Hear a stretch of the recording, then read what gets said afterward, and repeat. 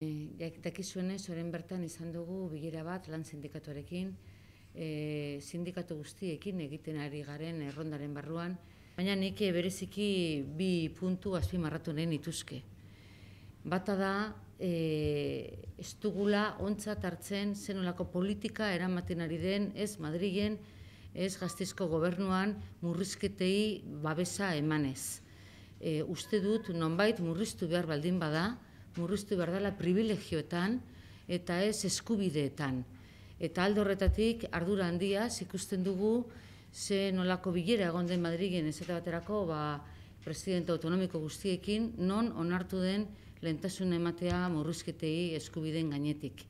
Eta e, diskurtso bera du gaztizko gobernuak e, prentzan ikusi dugu moduan e, aurri ikusten ari baitira mila milioi euro e, murriztea 2000 eta amairuko e, aurrekontuetan.